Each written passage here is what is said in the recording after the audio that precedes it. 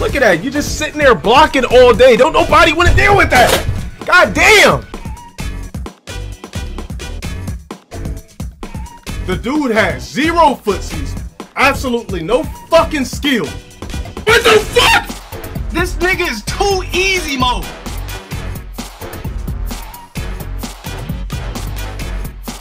Get the fuck out of my lobby with that corny ass shit, you sorry ass clown. Can't consider no nigga good in this game. Why you think niggas pick this fucking goddamn character? Tell what was good about that? We know for a fact you got a micro dick. I'm not even gonna blacklist this nigga. I'm gonna run into him again off stream and I'm gonna beat the fuck out of him. Bitch ass motherfucker.